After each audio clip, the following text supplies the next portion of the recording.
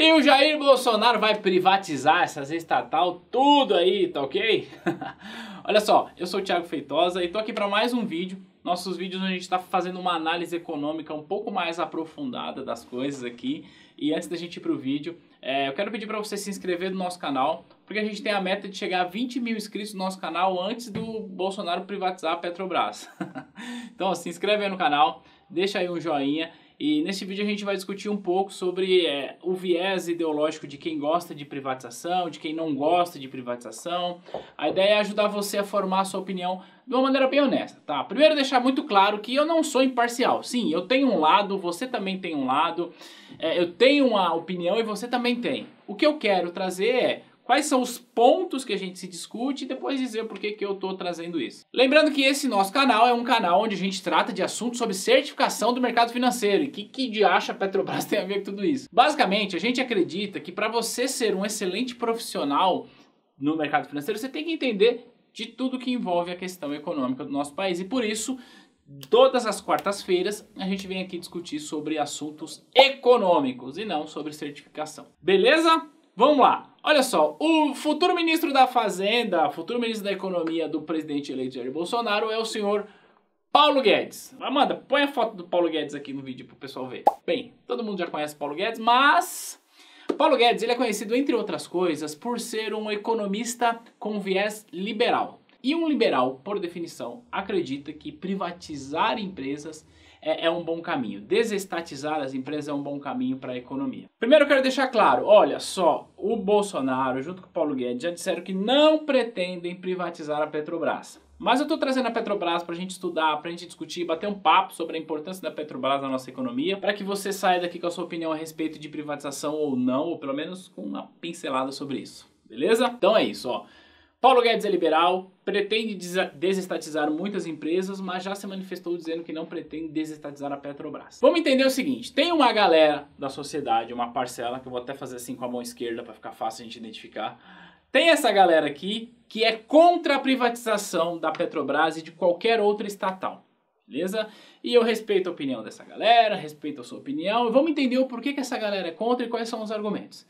Ou seja, essa galera aqui que é contra a privatização da estatal, ela alega o seguinte, que é, uma empresa estatal ela tem de funcionar em função da sociedade e não em função do lucro. Em outras palavras, essa empresa pode inclusive é, abrir mão de buscar grandes lucros para fornecer bons serviços para a sociedade. Tudo bem? Em se tratando de Petrobras, a gente está falando de petróleo, a gente está falando de combustível que é tão essencial, a gente está falando do gás de cozinha.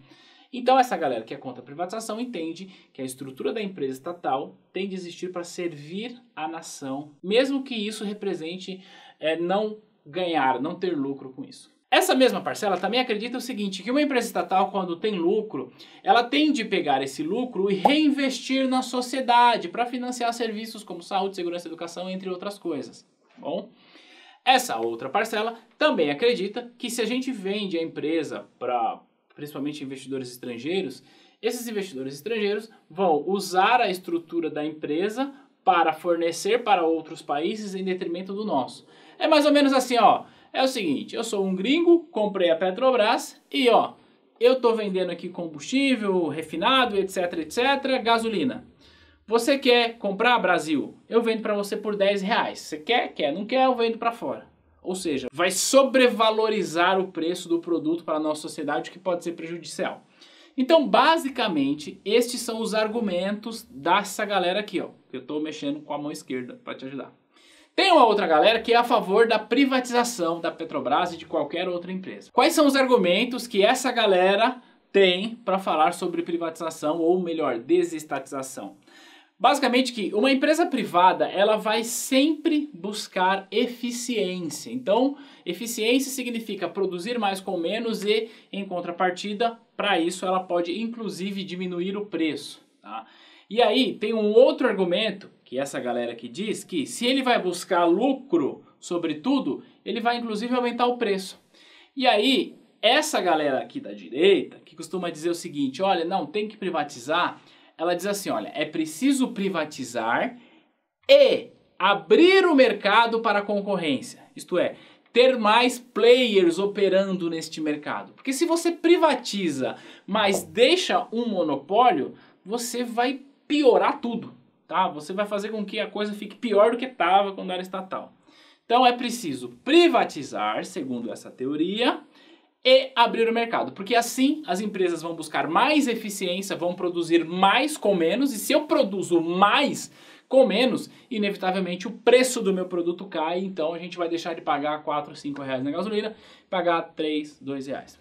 Beleza? Basicamente é isso. Essa galera também acredita que uma empresa estatal, via de regra, é administrada não necessariamente por um cara competente e técnico para administrar, mas por um apadrinhado político. E, portanto, este sujeito tem a tendência de administrar esta empresa não pensando na empresa e na sociedade, e sim no partido que o indicou.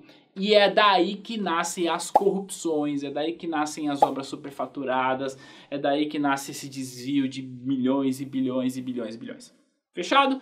Então, basicamente, essas são duas linhas para que você é, tome a sua decisão a respeito de privatização ou não. Eu quero enriquecer esse debate trazendo aqui alguns dados para dizer o seguinte: quando uma empresa é privatizada, quando uma empresa é, é está sob o controle da iniciativa privada, não significa necessariamente que estar sob o controle da iniciativa privada é ser ruim para a sociedade, é não investir na sociedade.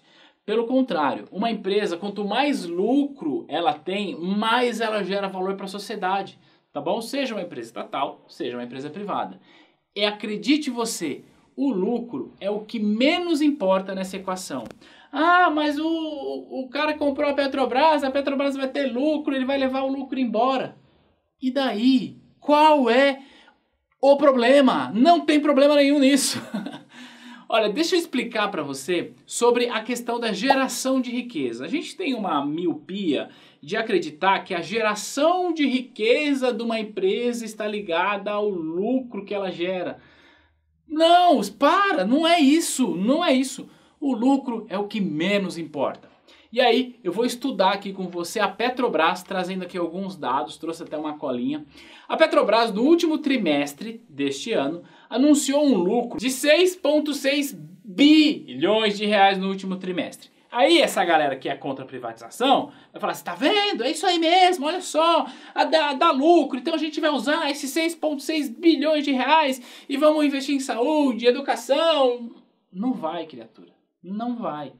Mesmo que é uma empresa estatal, não vai. E eu vou explicar para você por que, que não vai e por que, que o lucro é o que menos importa nesta equação. Fechado? Então eu trouxe aqui uma super cola e vou pedir ajuda da minha super editora para que toda vez que eu falar alguma coisa aqui, ela vai colocar essa informação para você, para que você possa ver com seus próprios olhos. Olha só, como eu disse, a Petrobras teve, teve lucro no último trimestre de 6,6 bilhões. Só que a gente vai analisar a Petrobras pelo período de nove meses, em outras palavras, dos três primeiros trimestres de 2018. Petrobras teve um lucro líquido de 23,7 bilhões de reais. Beleza? É bastante grana? Claro que é. Esta grana será reinvestida na sociedade porque é uma empresa estatal? Não. Primeira regra: para que uma empresa sobreviva por muito tempo, ela não pode e não vai distribuir todo o seu lucro para os seus acionistas. Ela vai distribuir uma pequena parcela do lucro para os seus acionistas e o restante ela vai reinvestir. Reinvestir em tecnologia para que ela possa produzir mais com menos, construir, nesse caso, plataformas de petróleo e assim sucessivamente. Beleza? Eu dei uma olhada aqui no estatuto da Petrobras e ela diz que vai distribuir no mínimo 25% do seu lucro. Então a gente assume que 25% do lucro de 23,7 é 5,93 bilhões de reais. Tá vendo? 5,93 bilhões de reais que volta para a sociedade, não é? Não, não é. Olha só, o governo federal, ele detém somente 45% da Petrobras. Então, se a gente pega 45% de 25%, como diria a ex-presidente Dilma, né? Fez uma bagunça com os números aqui. Basicamente, os dividendos que vão para o governo são 2,67 bilhões de reais. Lembrando que nesse 2,67 bilhões, parte vai para o Tesouro Nacional, parte vai para o BNDES e outra parte vai para a Caixa Econômica Federal. Que são empresas estatais, e não necessariamente essa grana vai voltar para a sociedade. Pode ser que essa grana seja utilizada para financiar um Joesley Batista da vida, tá bom? Então, grava esse número, 2,67 bilhões é o que o Estado tem de dividendos. Agora, a gente vai para o que mais importa na Petrobras. Neste mesmo período em que ela teve 2,67 bilhões de reais em dividendos para o Estado, lembrando que nem tudo vai para o Estado, mas vai para as empresas estatais, essa empresa pagou nada mais, nada menos do que 116 bilhões e 200 milhões de reais em impostos. 116 bilhões de reais em impostos. Sabe o que isso significa? Que se fosse uma empresa privada ou se fosse uma empresa estatal, ela pagaria 116,2 bilhões de reais em impostos, ok? Porque ela está operando nesse país. Então aqui não faz diferença nenhuma. Fechado? Outra coisa importante, esta empresa gastou 19,7 bilhões de reais com folha de pagamento. Ela tem aproximadamente 60 mil colaboradores e esses 60 mil colaboradores receberam 19,7 bilhões de reais. Sabe o que isso significa? Significa que 60 mil pessoas vão ao supermercado, pagam escola para os filhos, e tem renda e, consequentemente, gera renda para a sociedade. Tá bom? E isso uma empresa privada também faria. Fechado? Outro ponto é que essa empresa gastou 60 bilhões de reais com remuneração de capital de terceiro. Basicamente, essa empresa tomou dinheiro emprestado de investidores, essa empresa pagou aluguel de terrenos, pagou aluguel de espaço, qualquer coisa que alguma pessoa em algum lugar do mundo colocou dinheiro ali, ela está remunerando através dos seus contratos. E aí a pessoa fala assim: ah, mas quem é o investidor é aquela pessoa que tem muito dinheiro e o pobre não é beneficiado com isso. Mais ou menos. Sabe por quê? Porque imagina que você tenha lá 10 milhões de reais e resolve investir em alguma coisa. Você vai lá, tem, recebe os dividendos, no caso a remuneração pelo seu capital, isso traz para você mais recursos. Só que esse processo não é você chegar lá e toma o dinheiro na Petrobras. Existe um monte de profissional envolvido nesse processo que está sendo remunerado pelo seu respectivo salário. Você consegue contratar o serviço de uma outra pessoa, então é, você nunca gera riqueza sozinho. Beleza? Outro ponto, senhorita Petrobras gastou nesse período 94 bilhões de reais com fornecedores. E se eu estou falando que ela pagou o fornecedor, o fornecedor dela não consegue criar as coisas do nada. Ele precisa necessariamente, às vezes, ter outro fornecedor, às vezes ter ali milhares de colaboradores prestando serviço para esses fornecedores. Então, o ponto é o seguinte: a geração de riqueza de uma empresa nunca está relacionado ao quanto ela gera de lucro. O lucro é o menos importante, beleza? Está relacionado ao quanto ela gera de serviço para a sociedade, entre pagamento de impostos, entre folha de pagamento, entre despesas com fornecedor e despesas com remuneração de capital de terceiro. Basicamente, o que essa empresa gerou de valor para a sociedade ela geraria, independente de ser estatal ou independente de ser uma empresa privada, 290 bilhões de reais, que é a soma de tudo que eu falei aqui. Olha só, ela gerou 290 bilhões de reais de valor para a sociedade. E que o governo recebe de dividendos é 2,7 bi. Percebe que o lucro é a fatia menos importante de toda essa equação? Então, o ponto é, quando a gente fala de uma empresa, que a gente vai privatizar uma empresa, tem gente que acha que o governo, se eventualmente vender a Petrobras, coisa que eu honestamente não acredito, mas defendo, vai vir um empresário, vai pegar as plataformas de petróleo e vai levar embora daqui. Não vai. O que o governo vende é o direito de exploração deste território. E aí o governo consegue criar regras para isso. Eu disse que eu, Tiago, pessoalmente sou a favor da privatização desde que tenhamos abertura de capital para a concorrência. Isso é extremamente importante. Se for para privatizar e deixar monopólio, é pior do que não privatizar. Tudo bem? Então, neste vídeo, eu queria trazer para você um ponto que é comum e tá tudo bem com isso. As pessoas que defendem uma empresa estatal, elas não necessariamente são pessoas malvadonas, tá? Tá tudo bem. Essa galera acha que a empresa tem que ser estatal e tá tudo bem tá bom? Existe uma outra galera que acha que a empresa deve ser desestatizada, que deve ser privatizada. Eu, pessoalmente, me enquadro aqui, e eu expliquei para você porque que eu acho que uma empresa privatizada ou estatal, a, a geração de riqueza dela não está relacionada com o lucro que ela gera está relacionado com o valor que ela gera para a sociedade. E aqui eu não estou nem contando, por exemplo, com a quantidade de empregos que indiretamente ela gera. Tá?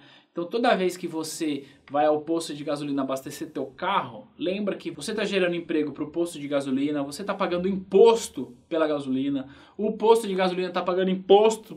Então a geração de valor é uma geração de cade em cadeia que quando a gente começa a colocar na ponta do lápis o que menos importa é o lucro, mas todo o valor que a sociedade tem com a operação de uma empresa, seja ela privada ou estatal. Agora eu quero saber o seguinte, eu quero que você me conta o que, que você pensa a respeito de privatização. Você acha que é melhor o governo privatizar as empresas ou você acha que é melhor é, as empresas serem estatais? Mas o que eu gostaria é que você deixasse um comentário aqui e justificasse o teu ponto de vista. Olha, eu acho que é melhor ser estatal por causa disso, disso, disso, e eu acho que é melhor ser privada por causa disso, disso. Eu penso que opiniões opostas, elas podem e devem coexistir. E junto com as opiniões opostas, nós precisamos ter respeito e argumentos fundamentados. Não adianta chegar aqui e falar, af, vai privatizar tudo. Explica por que você é contra ou explica por que você é a favor, assim a gente enriquece o nosso conhecimento. Se você gosta desse tipo de vídeo, deixa aqui um gostei e a gente se vê na próxima semana. Um abração e tchau!